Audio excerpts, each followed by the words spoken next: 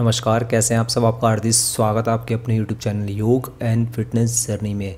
आज की वीडियो में आपके लिए लेकर आया हूँ जगत गुरु रामानंदाचार्य राय संस्कृति विश्वविद्यालय में जो योग के कोर्स होते हैं, उसके बारे में जानकारी लेकर आया हूँ। तो उससे पहले मैं आपको इस विश्वविद्यालय के बारे में छोटी जानकारी देने जा रहा हूँ।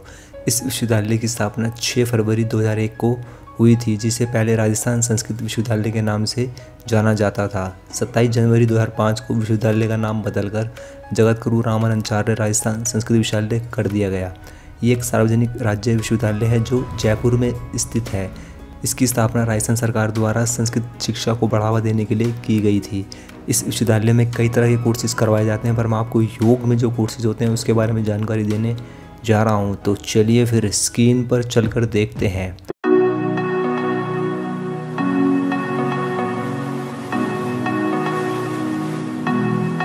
इस वीडियो के डिस्क्रिप्शन में मैंने आपको एक लिंक दिया है, उस लिंक पर क्लिक करते ही आपके सामने इस तरह का पेज ओपन हो जाएगा, जिसमें आप देख सकते हैं, ऊपर तरफ़ लिखा हुआ है जगत गुरु रामानंदाचार्य राजस्थान संस्कृत विश्वविद्यालय।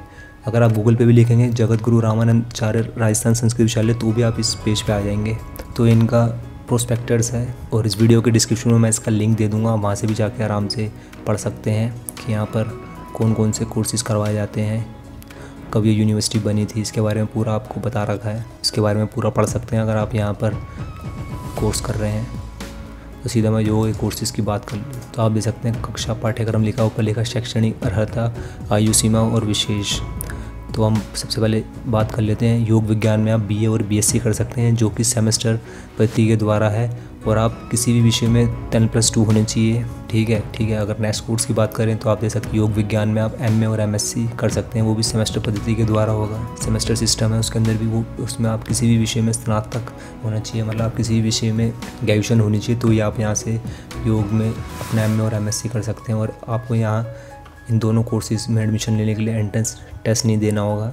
ठीक है आयु सीमा भी आप दे सकते हैं, यहाँ से दे सकते हैं पीएचडी भी कर सकते हैं, पर उसके लिए आपको आचार्य एम विषय, संस्कृत विषय के सहित होनी चाहिए।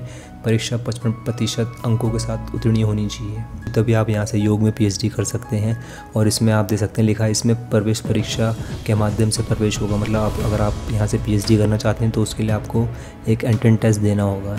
ठीक है, बाकी यहाँ डिप्लोमा कोर्स की बात कर लेते हैं तो आप दे सकते हैं, यहाँ पर आप योग प्रणाम पत्र मतलब योग सर्टिफिकेट का कोर्स भी कर सकते हैं। उसके लिए आप किसी भी विषय से टेन प्लस टू होने चाहिए मतलब आप टेन प्लस टू बारहवीं पास होने चाहिए।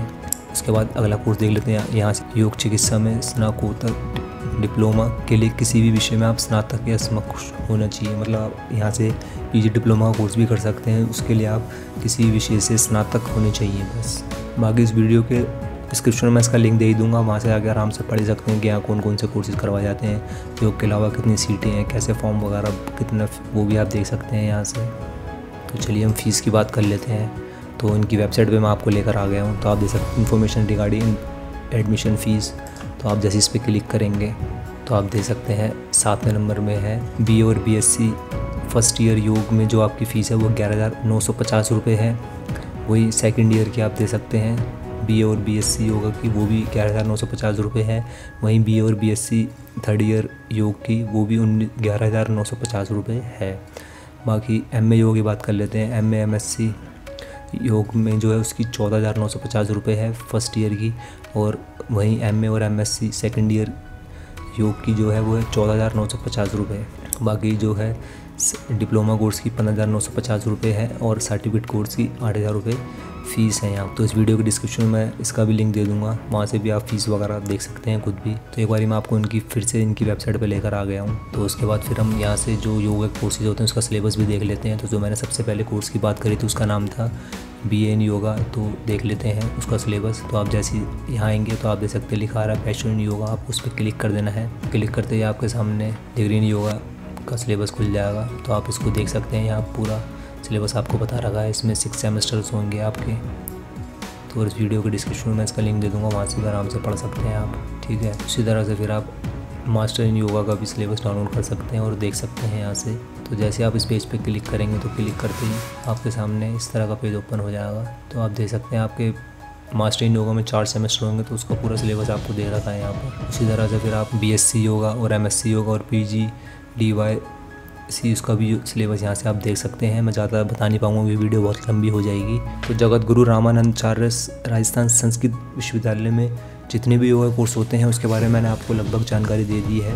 अगर आपको फिर भी कोई क्वारी हो तो आप मेरे से कमेंट करके पूछ सकते हैं। इस विश्वविद्यालय से आप योग का कोर्स करके अपना योग में करियर बना सकते हैं। तो मैं आशा करता हूँ आप सभी से आपको मेरी आज की वीडियो पसंद आएगी। अगर मेरी वीडियो पसंद आई तो मेरी वीडियो को लाइक कीजिए, शेयर कीजिए और मेरे YouTube channel Yog and fitness journey को ज़रूर ज़रूर सब्सक्राइब कीजिए। नमस्कार।